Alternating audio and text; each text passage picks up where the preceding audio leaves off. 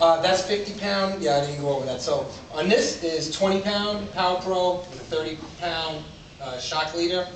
Um, on this is 50 pound Power Pro with a 50 pound uh, leader and uh, probably uh, an 85 pound snap. What is the leading material? Uh, fluorocarbon. I am a fluorocarbon believer. I know it's expensive, but it's like one of those things I spring for.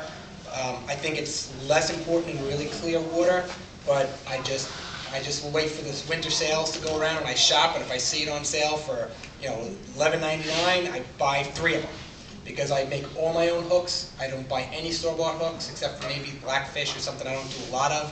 But I, I make them all, I use fluorocarbon, and uh, it was funny, I was fishing with my buddy Danny J, I took him on the boat, and we were in Moriches Inlet, and he was using his store-bought rigs that he put on my pole, and I, we were using eels, and I caught three bass for about 20 pounds in three separate drifts, and he couldn't get a tap all night. Kept offering to him, I'm like, use one of these, they obviously, the, something is making a difference, and it was the fluorocarbon. And so I still tease him about this day, I'm like, Danny, you want to borrow one my hooks? Now he goes, yes, give me one of your hooks, because he don't make his own, so. Anyway, um, any other questions about the spinners? Is there any trip to